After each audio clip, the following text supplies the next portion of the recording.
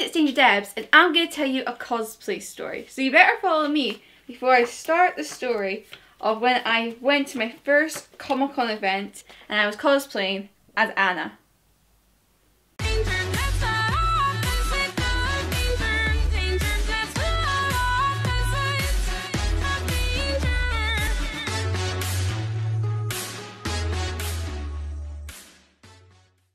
This is when I didn't know what cosplay was. I just saw a Disney meetup on Facebook and I was like, yes, I am so going. And I cosplayed as Anna. I got the idea from my DIY costume video back in April. I still don't know what cosplay was. I was living in Inverness. I don't think NessCon was a thing back then.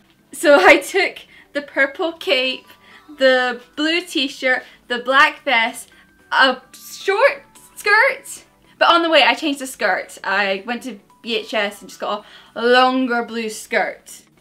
I felt more comfortable. So I was just like, I'll just be Anna. I'll just cosplay as her at this Comic-Con event. What's a Comic-Con event? I had no idea, so I just went down, buy my ticket on the day, and met too many people in costume. There were like 42 people, and I was like blown away.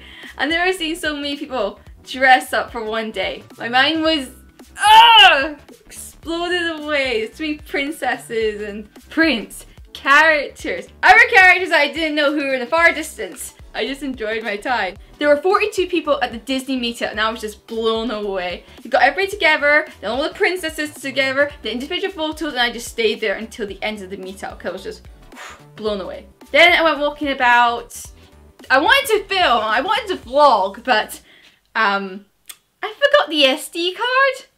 So I didn't vlog, I just took random photos of random people, especially the ones who are cosplaying my sister Elsa. Took photos of them people, didn't care who you were. I just wanted a photo with my sister. But sadly at MCM Scotland 2017, I had to leave early. I really can't remember why. I was there 10 till 2. I just had to leave early, I can't remember why. Because I had to go meet my boyfriend and head off. I can't remember why we headed off early. I can't remember. Why did I leave early? Anyway, that was my first Comic-Con experience. But I didn't really meet anybody. Every time I look back at MCM Scotland 2017, my friend Katie always says to me, Debs, you should have told me you were there! We could have hanged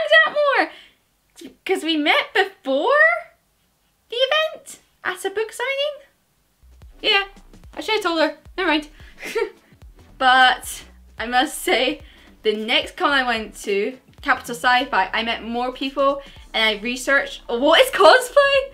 And I researched every single famous cosplayer in Scotland to see who they were because I just like, oh, this is a thing. Cosplay's a thing.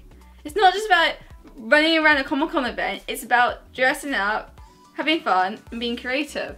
So the more I researched it and went to the next Comic Con event, it's like, oh, now I get it. Also looking back at it, I remember I got a photo with someone cosplaying as Ariel. And my costume looks similar to her costume.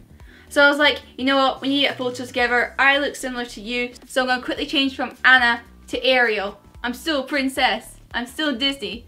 But I'm just gonna quickly change to look like you.